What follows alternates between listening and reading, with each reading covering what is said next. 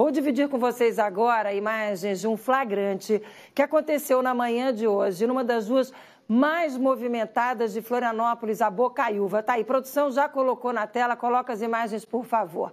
Você já vê aí o carro preto na contramão. Essa pessoa de guarda-chuva sou eu. E essa imagem é do circuito de segurança de um comércio da rua.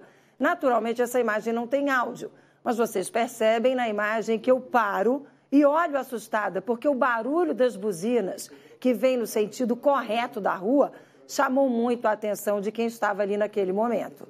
De novo, em destaque, a nossa produção ampliou a cena para que vocês percebam que o carro na contramão quase se choca com o carro que vem no sentido correto. Muito indignada com a cena, eu fui falar com o motorista. Fui até a janela dele, que nesse momento buzinava insistentemente para que o porteiro abrisse o portão do prédio. Eu chamei a atenção dele, perguntei se ele sabia o risco que estava provocando. E aí me surpreendi ainda mais porque tinha uma criança dentro do carro, inclusive essa criança não estava na cadeirinha. Gente, muita imprudência desse motorista.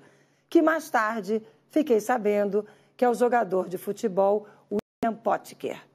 Ele me disse que para chegar ali precisou fazer aquilo porque estava com dificuldade de transitar em função da chuva.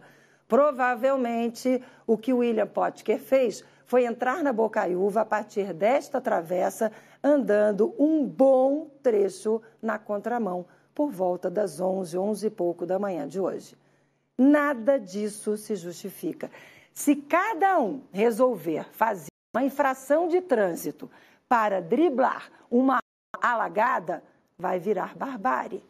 Fica aí o alerta do que nunca devemos fazer.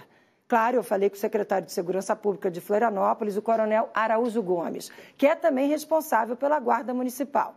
E ele disse que esta conduta é uma infração grave, sujeita a multa e perda de cinco pontos na habilitação.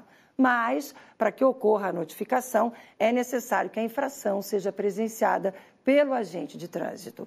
O secretário Araújo Gomes destacou também que esta conduta, além de ilegal, é perigosa perigosíssima, eu acrescento.